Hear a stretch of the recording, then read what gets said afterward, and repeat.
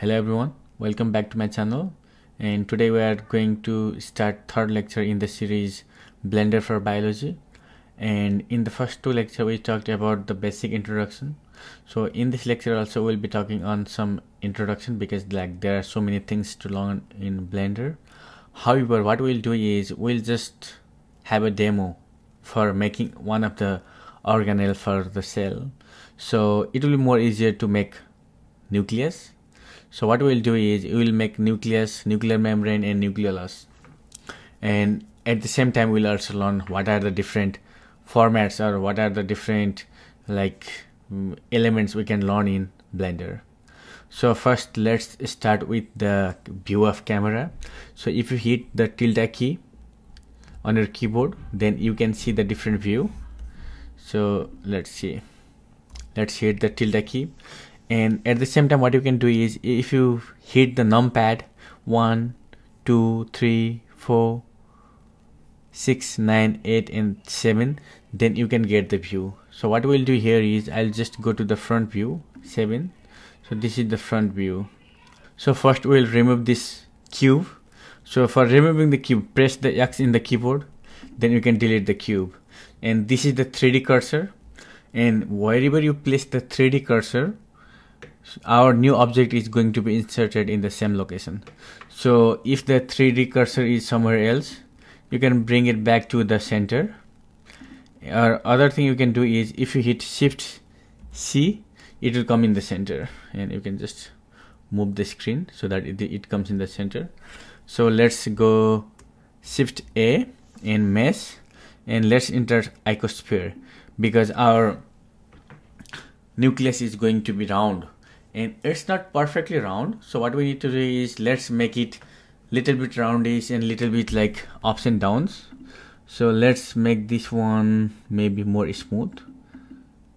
So let's go up to 6 so we made it smooth. So I hit tilde key and front view 7 zoom it little bit with your keyboard. And okay. So now this is ready. And go to modifier property. Add modifier and if you want to make it smooth you can make it smooth. Or what you can do is you can hit spacebar so you need to change this one. So smooth. Set smooth. You can do set the smooth also. Let's leave it for now so now we need to make a modifier means displacement modifier. We need to make it little bit ups and down not exactly curve but it should look like a real nucleus. So let's go and we can do displace modifier. So in displace modifier we need to select a modifier. So what we can do is we can do cloud modifier and it doesn't look like exactly what we need. So what we need to do is we need to change this modification. Or we can do like Voronoi or improve let's do Voronoi F1 and this is not exactly what we want. So we need to change the shape. So for that one let's go to modifier properties. And we can change the strength. And wherever we feel comfortable we can just step it there so let's go in. This looks nice but it's little rough. It's more smooth so we, we need more rough. So 0 0.2 or 0 0.3 not bad. Or let's go minus 0 0.25 strength. So looks looks pretty much good right? Okay. So now let's rename this as uh, nucleolus so we need to rename this one as nucleolus Another thing we can do is we can make it smooth. So shade smooth. Yeah it's it's more smoother. So it's it looks like a nucleolus so let's go to the front view. And now so this is the nucleolus now we need nuclear membrane. So it's easy. We just duplicate this one shift d and hit enter. Let's rename this one nuclear membrane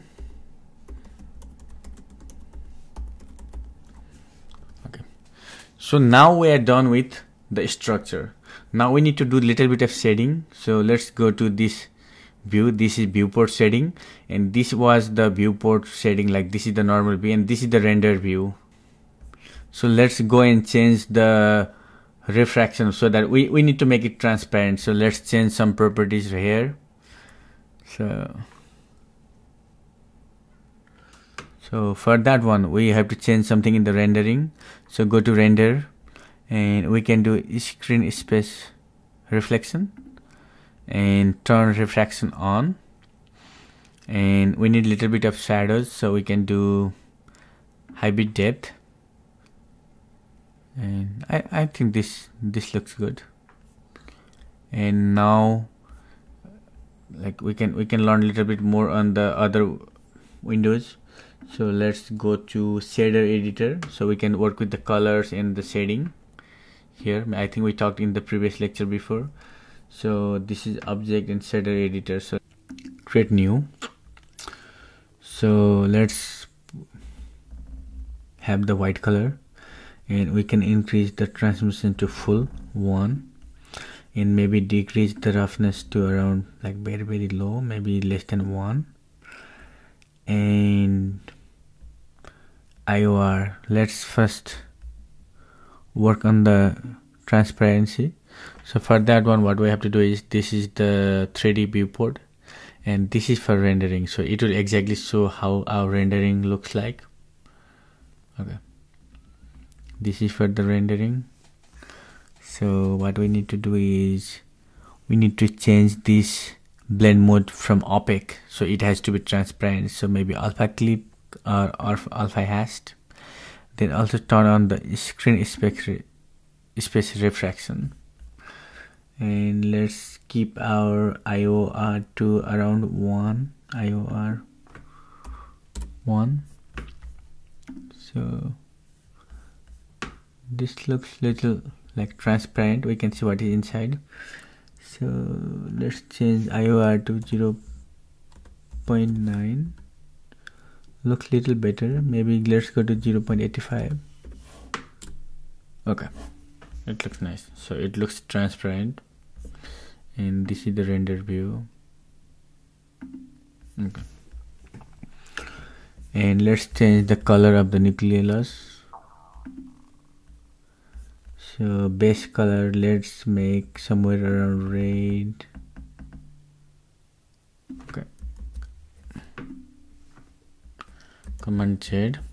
So we need to go to the nucleus. So make a new and change the base color to somewhat red reddish pink something like that. It looks nice. And maybe go roughness little down so that you will see more reflection. You can see when you decrease the roughness you see more reflection. Yes this looks nice and maybe transmission little higher. Transmission maybe this is good. In IOR I don't know how much is going to be good. IOR maybe 1.56 this is good yeah. IOR looks good. Okay. Let's see the render view. So it looks like this in the render view. And let's see how it looks like here not bad but we still need to work on some of the properties. Maybe we need to work on the lighting and we need to work on the camera. So this is how it looks like. And if we want to do the render if we render the image this is going to be our final image that we can render it out. Okay. So let's change the rendering from cycles to Eevee and change the camera view this is the view of the camera. Okay it looks nice. Let's render the image. So this is our nucleus. So the outside is nuclear membrane and inside is the nucleolus. And it is not perfect because like we have to work with the lighting. And at the same time we have to also work with the background. So it looks better. So the this video is a little longer. So let's pause this video here and I will have the part 2 this is going to be the part 1 and I will have part 2 where we can work on the shading colors and the background. And we can render the final image in the part 2 video. And stay tuned for that one. Thank you so much for watching the video and i'll see you in next video